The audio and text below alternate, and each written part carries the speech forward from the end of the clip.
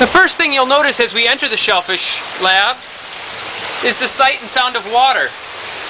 It's water that provides the clams their food, phytoplankton, which is being pumped in from the harbor by two submersible pumps.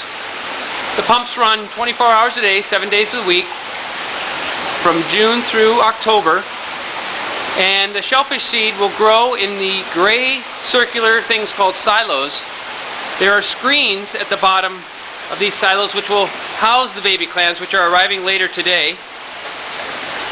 We will raise two and a half million quahog seed this summer as well as oysters. We're going to grow oysters for the first time this year in the shellfish lab. There are 12 tanks and water is pumped in here 24 days, 24 hours a day, 7 days a week. It's managed and maintained by the Harwich Natural Resources Department and uh, some shellfish interns which will work in July and August. So this is day one of 2007. The tanks are ready to go and the seed will be arriving shortly. These are the two submersible pumps hanging off Wychmere Pier.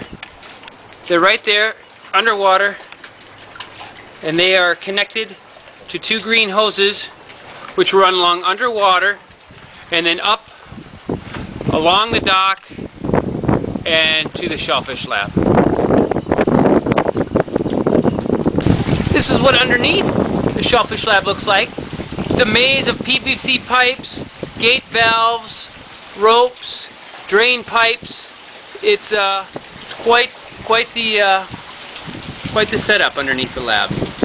This cannot be accessed during high tide, only low tide for